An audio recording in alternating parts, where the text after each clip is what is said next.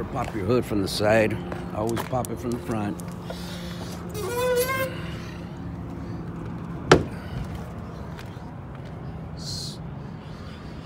So on the on the uh, newer models, it's gonna be right there.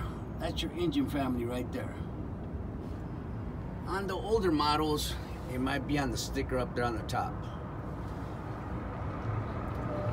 But on the newer models, it's gonna be engraved on the on the block, on the engine block.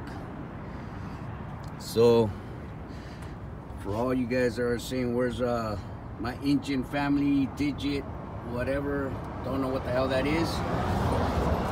There it is, right there, fe fellas. Uh, I'm down here in Long Beach. Gonna get the the transmitter put the beeper looking thing on my mirror. I'm gonna register the truck into the port. Well, I'm not. Uh, the guy that I'm working for uh, from Accurate Transportation, he is. So this truck can start going into the port and uh, start doing some port loads. And I'm waiting for that gate right there to open.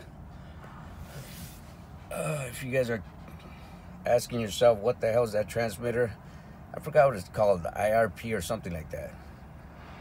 But I call it a transmitter. It looks like a beeper, little beeper that you stick right here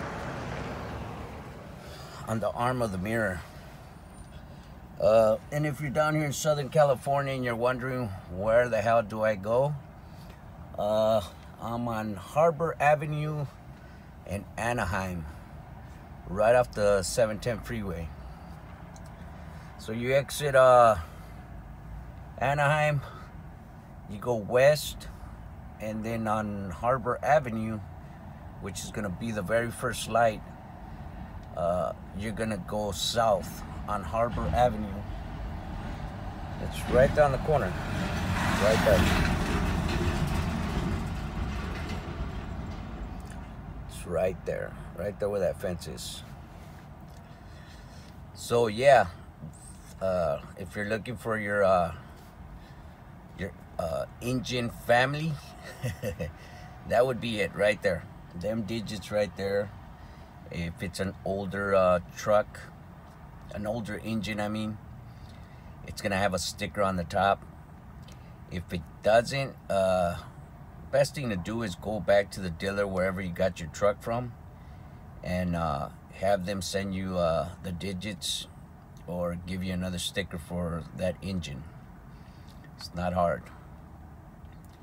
So again, today I'm just waiting for this place to open up. They open up at 8 o'clock. I've been here since 6.30. So uh, we're gonna get the truck registered, get the transmitter put on. That way this truck can start going into the port. Right now, at the beginning of the year, port loads are paying real good. And uh, we need to get in there. We need to get in there and uh, make some pretty good money. Right now I have a driver that's uh, that hauls ass, so we need to put him to work in this truck. Uh, right now he's driving my baby, the burgundy one, and uh, kind of jealous of that. so we're gonna put him back in this truck as soon as I put this transmitter. Uh, I'll show you as soon as uh, I get the transmitter and everything. See you in a bit.